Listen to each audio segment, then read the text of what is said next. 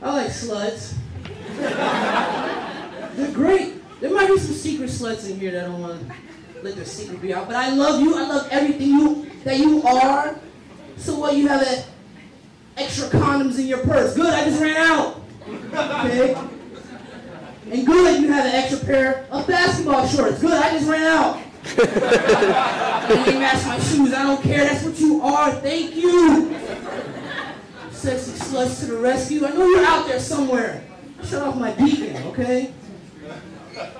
Y'all the one percenters, man. I call y'all one percenters because 99% of y'all ladies are fake. Sorry, 99% of y'all ladies are fake.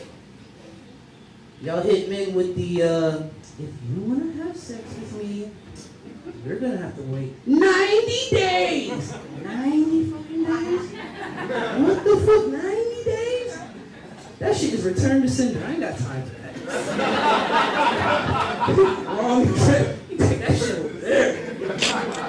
Damn, man. But guys, they fell for it, man. Guys, you fall for it. What the Illuminati videos y'all girls been watching? Where is this 90 days? You just think like a man would. 90 days does not work.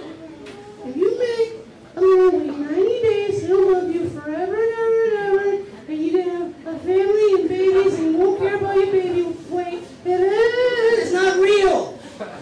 Okay? We're sucking for sexy faces too, man. Sexy face says, wait 90 days of me. I'll say yes. But inside I'm thinking, you know what? That's all I'm fucking somebody else. So you get your shit together, okay?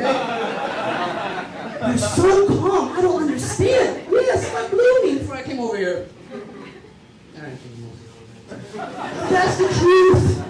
That's how you think like a man. But um, ladies, this whole 90 day thing, like you gotta take a perspective, right? 90 days, right? That's like 100 days. All right?